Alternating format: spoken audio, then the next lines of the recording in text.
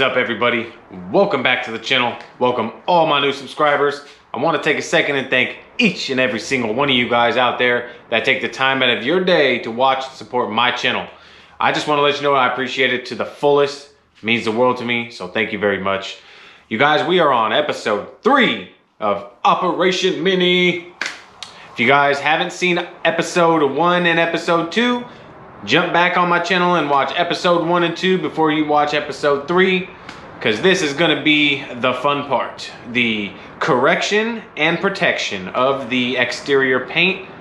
Uh, i'm going to be protecting the trim as well. Uh, i just want to bring you guys all along with me on this journey because you guys wanted the mini series so i've been having a lot of fun shooting this and uh, sharing with you guys.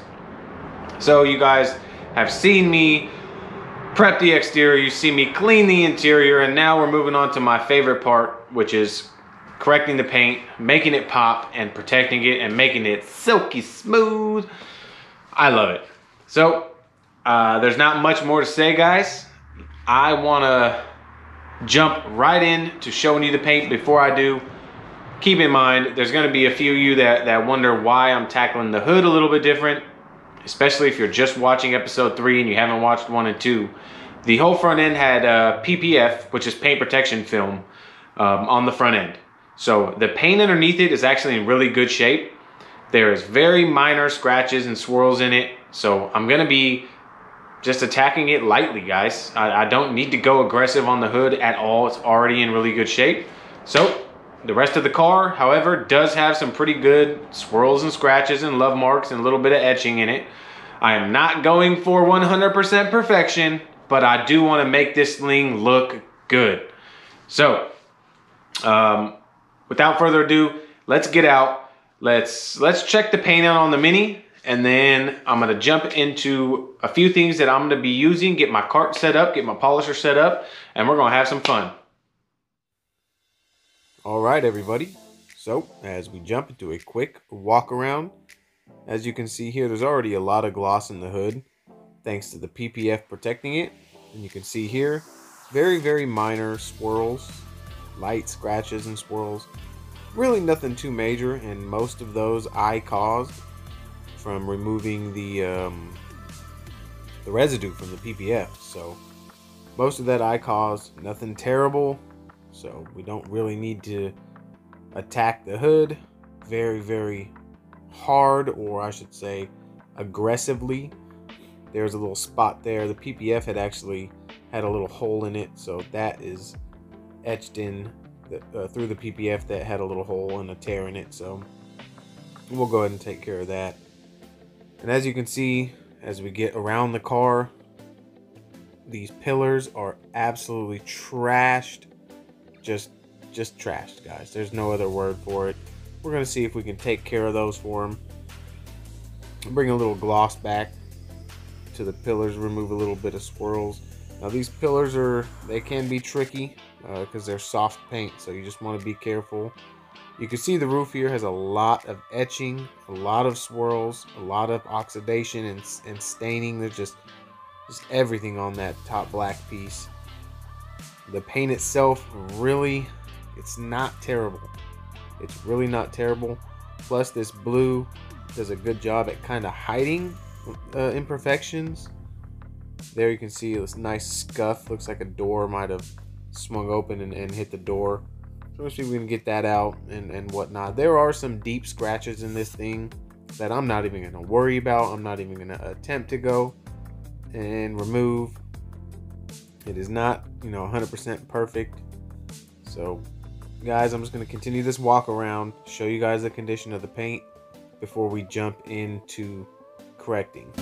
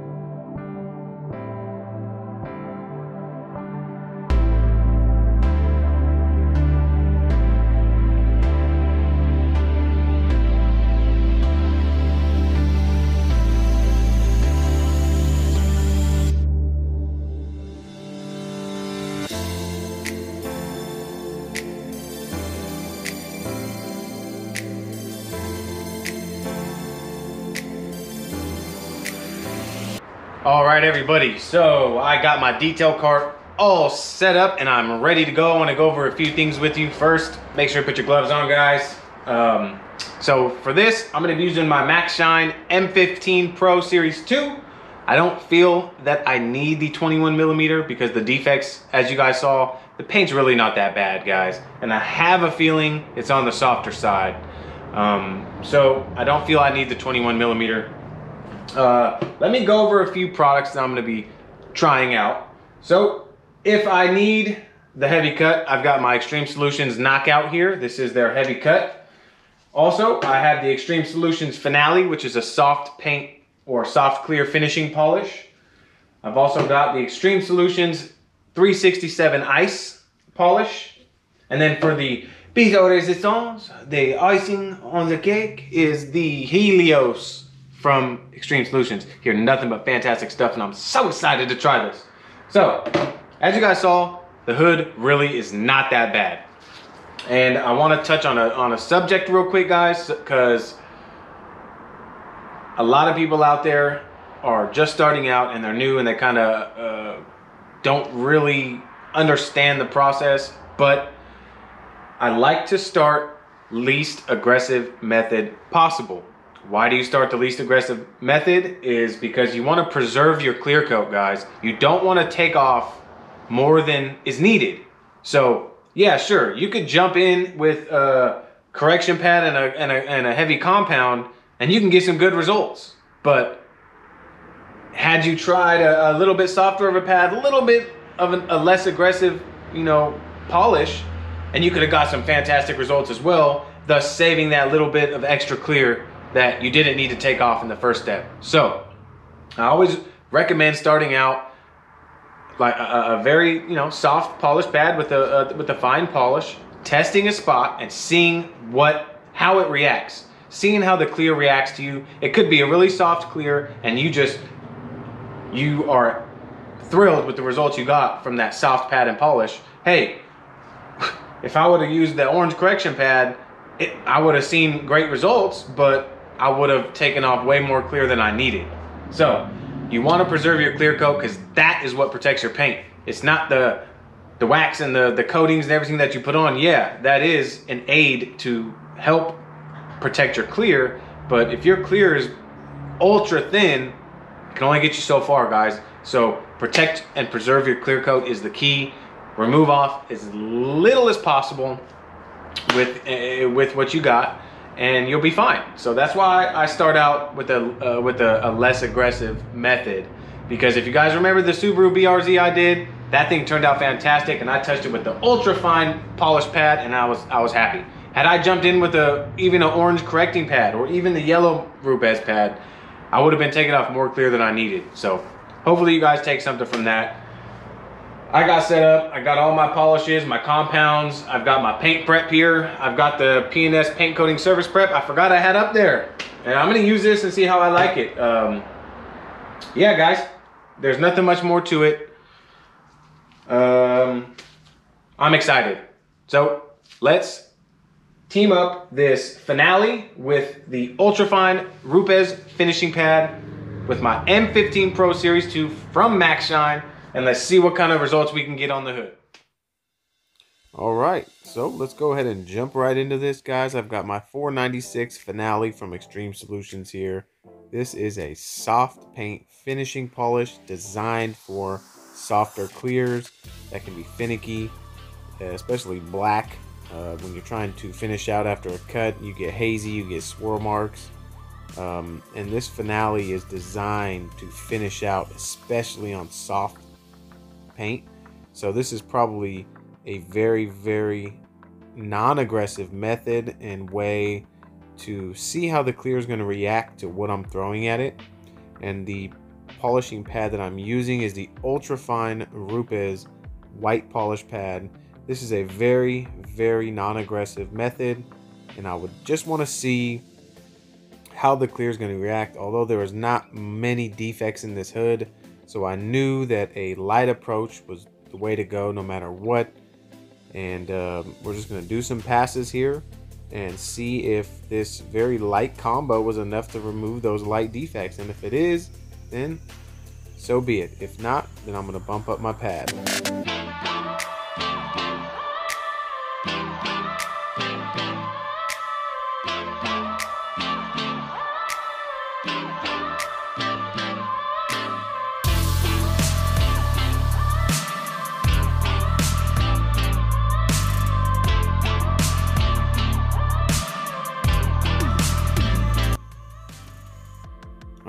As you guys can see here, it did an awesome job. Very, very little bit of defects still left in the hood, and I'm talking very, very minor. That combination actually did work very well. I know that there are a few little tiny stragglers, so what I'm gonna do is bump up to a yellow pad and see what that gets me. All right, so I'm gonna be sticking with finale here, guys. I'm just bumping up my pad to the yellow pad. This is gonna give me just a little bit more cut, hopefully than what I'm looking for. Like I said, I didn't want to bump up to a compound because that would probably be too aggressive.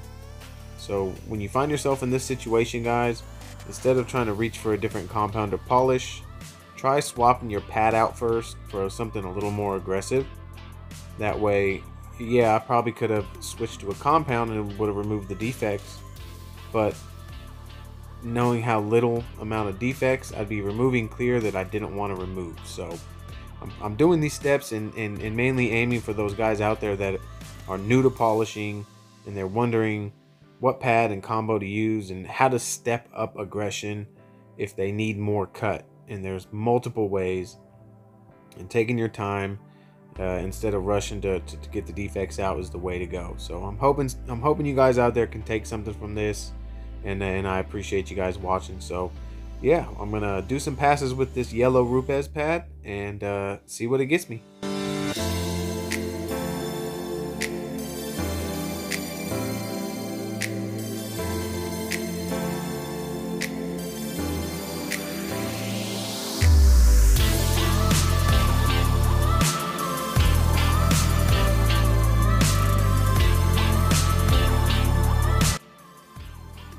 So as we come in and look, I am very happy with the results. It, it got me what I wanted. So I'm sticking with the yellow pad and I'm going to go ahead and finish up the rest of this hood and move on.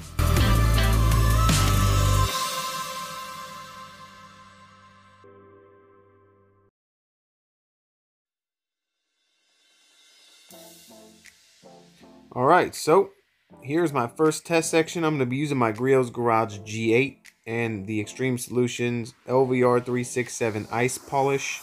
Now this is the first section I'm going to be doing uh, after the hood that I know has a good, a decent amount of defects.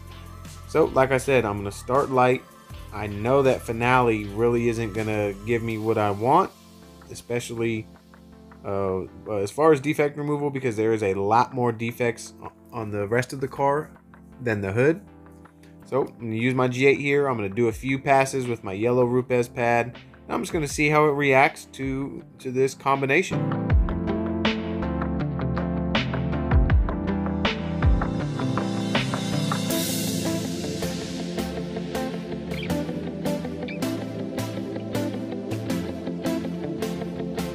Alright, so as I get you guys off the tripod and bring you in a little bit closer to see there is still a decent amount of defects left in the, in the clear here. And that's telling me, okay, uh, I need to I need to step it up a little bit. Let's step it up to something a little bit more aggressive.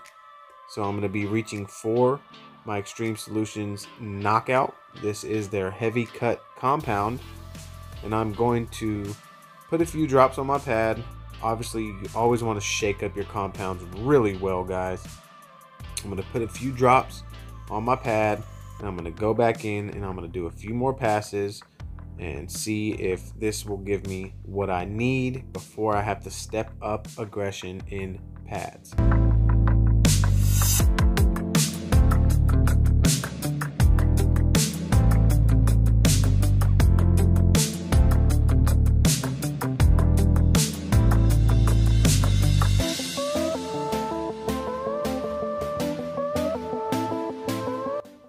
So as I bring you guys in again, with the knockout, you can definitely see it made a big improvement, but there's still some swirls that I want to go after. So this is telling me, okay, it's time to bump up aggression in pad now.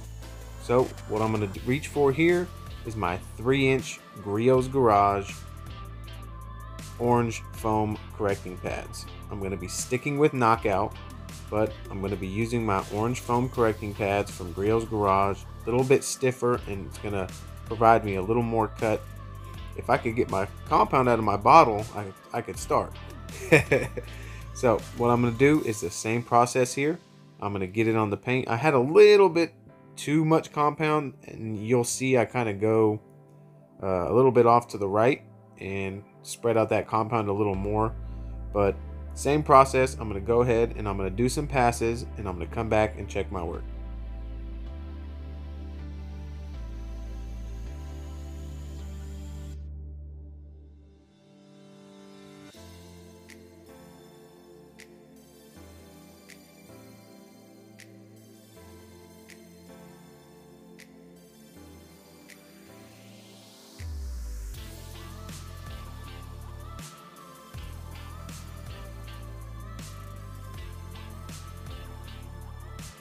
All right, so as we come in and take a look at what this orange Griot's foam pad can do, it did an excellent job, removed a really good amount of defects, still some little stragglers left behind that I'm gonna be going after. So that's telling me my knockout is doing good. Now I just need to bump up my aggression. So next pad I'm gonna be using is the Eurofiber 5050 pad, and that should get me where I need to be. So before we jump onto the door and start correcting, since I already know what pad I'm going to be using, I want to address these uh, pillars here. You guys, these things are just absolutely trashed. Now you don't want to go too aggressive on these because for one, they are thin and they are soft and they are plastic. Now plastic cannot dissipate heat as fast as a as metal can. So when you're working on plastic, you got to just be careful. I'm using my orange 3-inch Griot's pad with 321 knockout on my Griot's Garage G8. I keep the speed down to around 4 on my polisher. And what you want to do is you don't want to apply too much pressure and you want to keep the polisher moving. You don't want to build up too much heat and risk uh, causing any damage. So I'm going to go ahead and tackle this and then bring you guys in for a look.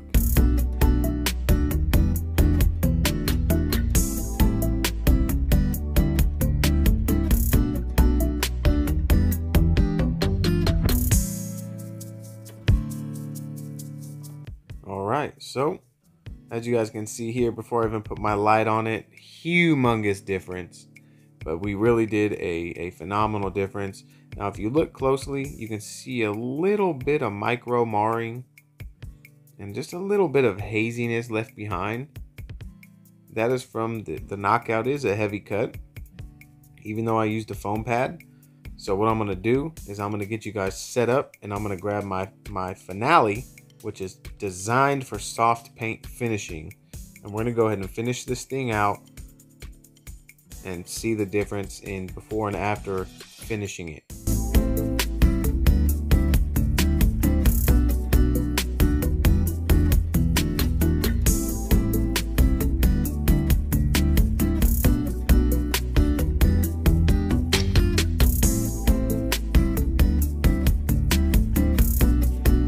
So now that we went ahead and finished it out with the finale, you guys can see big difference in removing the haze and the micro marring from the upper portion.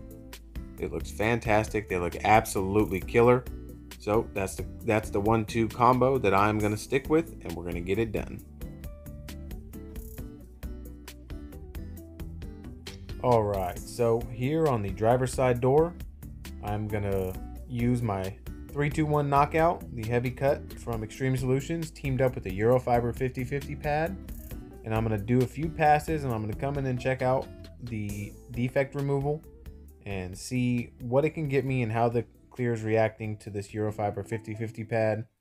Now I have not touched this side of the paint, so this is going to give me a good indication of if I'm going to be able to do the rest of the car with this combination.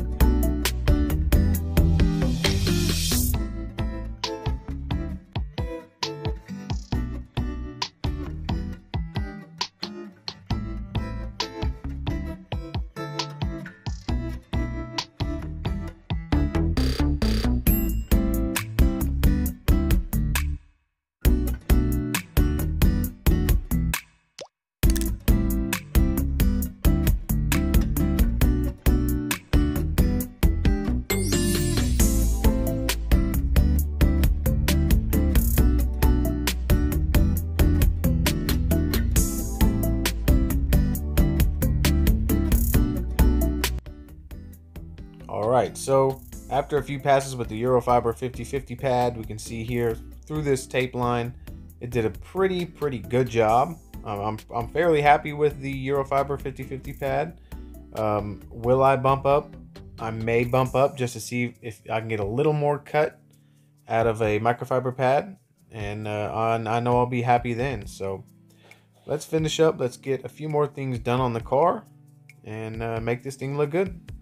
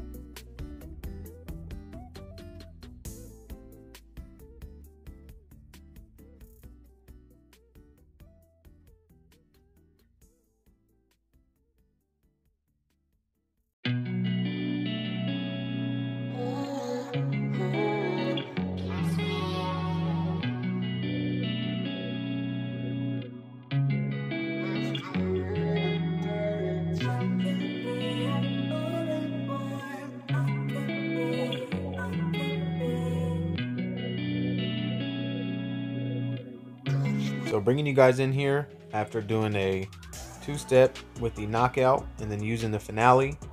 Huge, huge difference here, guys. Is it perfect? No way. I wasn't trying to make the roof perfect. I was just trying to restore some clarity and some gloss. And that is exactly what it did, as you can see here. Phenomenal, phenomenal difference. And I achieved exactly what I was going for.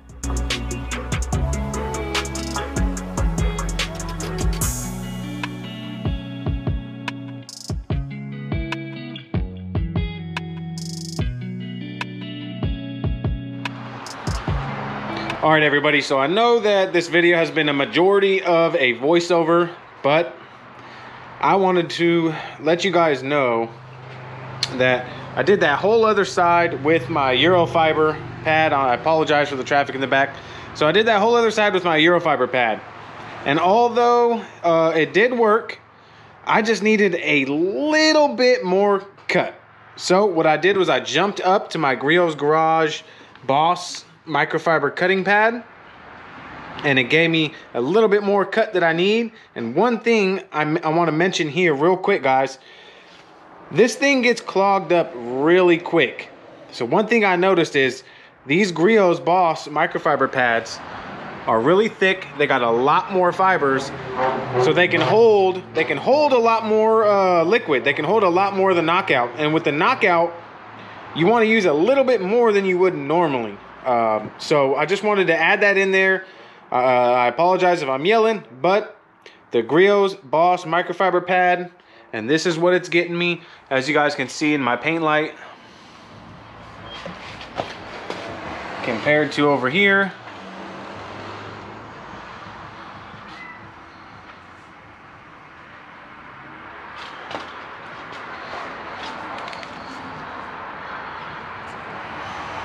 This one doesn't really help much, but fantastic results.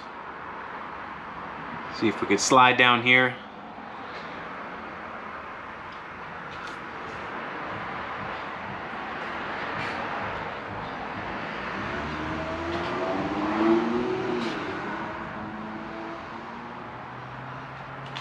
This paint is beautiful. We're not going after perfection, but I want it to look really good.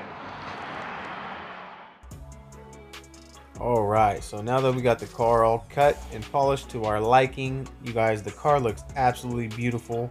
But here I'm just gonna add some icing on the cake, the cherry on top.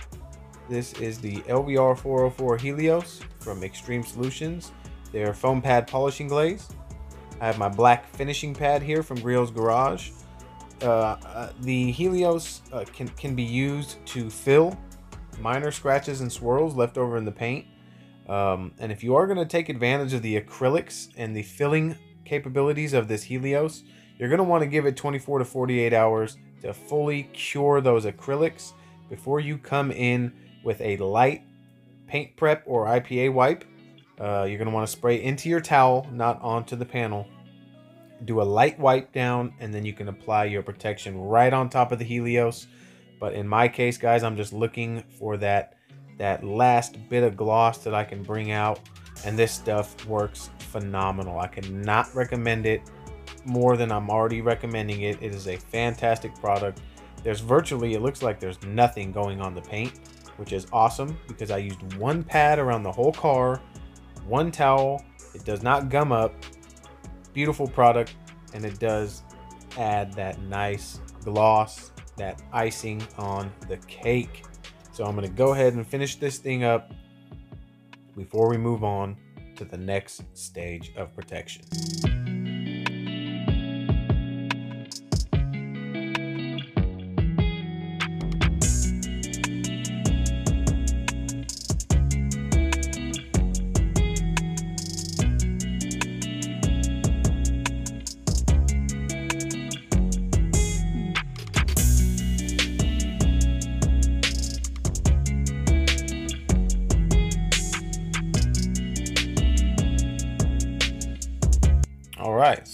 Now that we got the car all polished up with the Helios, I'm moving on to my next step. Here you see me misting the panel with water.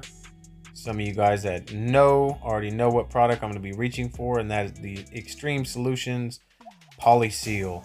You guys, I'm actually, I'm, I'm really loving this stuff. I got my wet applicator block here, a few sprays into my applicator block or microfiber applicator pad, whatever you want to call it. Uh, and you just, you just spread it out until it starts to kind of disappear on itself and then you you buff it off.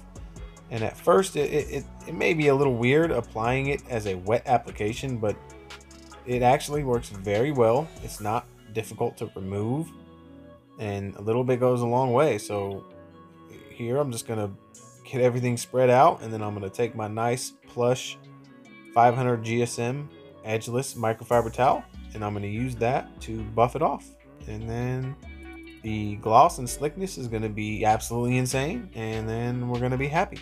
So let's let's get this done and let's move on to the icing on the cake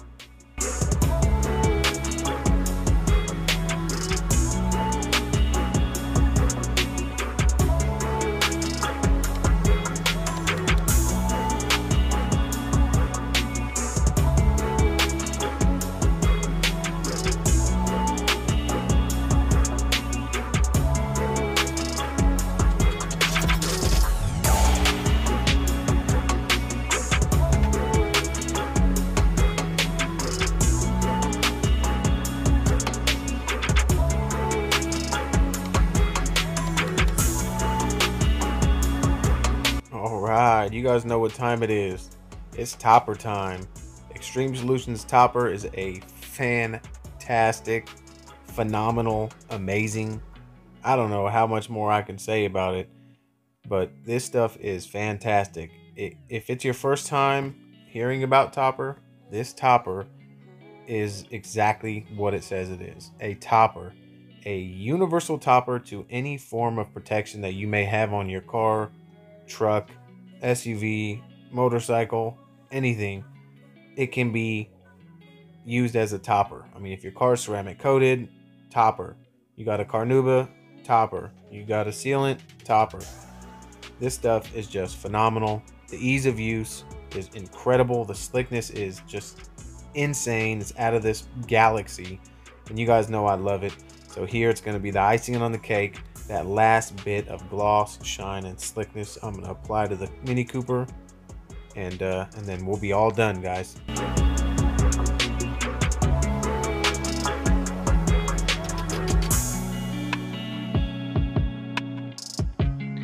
All right, everybody, we are done. Look at this thing. Man, this thing looks good. Hours and hours into this thing, and it has paid off. You guys, check out the gloss. As Aaron would say, fourth dimension level gloss here, guys. Oh, man, I'm so excited. This thing turned out absolutely fantastic. I know I say that a lot, but man, man, man, man. Does the paint look good? It sure does. It's not perfect. By all means, it is not perfect. I want to say I got around 80%, maybe 85% correction out of this thing. But man, man, man. Man, like there's a big old long scratch there. There was nothing I can do about that. I wasn't wet sanding. But man, you guys, this thing turned out awesome. Got the black nice and glossy. Got rid of all the oxidation on this, this plastic spoiler here. The back turned out great. The gloss is just insane. Now, I don't have any sunlight left, but best believe I'm going to get you guys some sunlight so you guys can see the finished product inside and out. This thing turned out great. He's probably not even gonna want to sell it after this. The gloss is just insane. Just absolutely insane gloss. The reflection is just, man, I'm so excited. Give you guys the quick walk around here. Look, oh, man.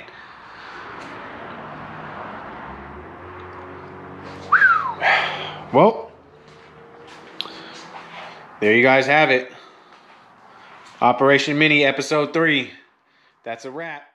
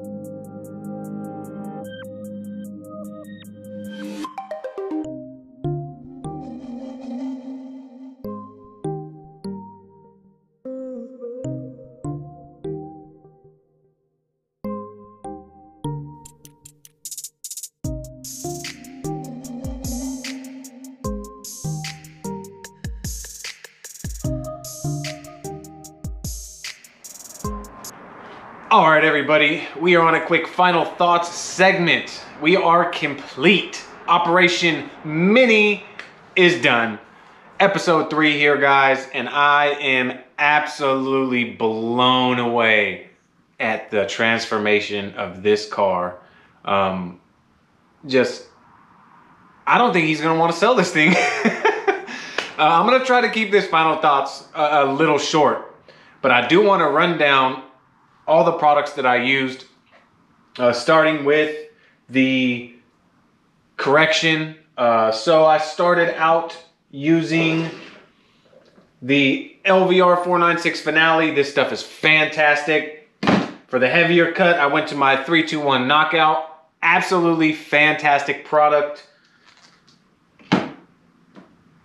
The LVR 367 Ice. This stuff is killer. I've been, I was just kind of experimenting with all, all these too because I've never used Finale. I've never used Knockout. I did use the, the, the Ice uh, a little bit before, but not too much. And I also used the Helios. Oh, I'm in love. I'm in love with all these products. They worked fantastic. The Knockout, the Knockout has a, to me, it has a little short, it has like kind of a short cycle time I talked with Aaron. Um, uh, they're working on getting a little more lubrication uh, in it, but I just call it a short cycle time, and I had no issues. I still got one up and down, side to side, up and down, side to side, four, almost five passes uh, before I didn't see it really. Uh, so I just had to kind of find the sweet spot with this stuff. And then I tried a little bit of knockout with a few drops of ice. Killer combo, guys. Killer combo. I was playing around all day. I even added um, some finale in with the, the knockout on a, on a foam pad. It worked awesome. I'm just playing around, having fun. Fantastic results. At the end, after the correction, I did I did the Helios. That was the uh, the fourth dimension the fourth dimension secret right there, as Aaron would tell me, fourth dimension gloss. Uh, for protection, I went ahead and I hit it with the poly seal and then I topped it with my favorite topper. Uh, fantastic products here. The gloss and the slickness is just next level, guys. I promise you. Um, for the, I used my P&S paint surface coating prep. This stuff is freaking fantastic. I'm probably gonna end up buying more of this. It's fantastic. Uh, for tires, I used my Wowo's Tire Restore. Nice, perfect jet black satin finish. I love it.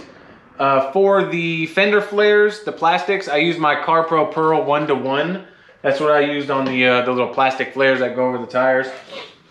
Uh, and these are all the pads I use, guys.